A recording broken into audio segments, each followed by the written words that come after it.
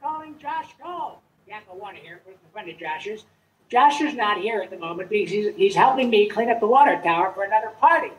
So leave a message and Josh will call you back right away, unless, of course, he owes you money, in which case you will never hear from Josh again.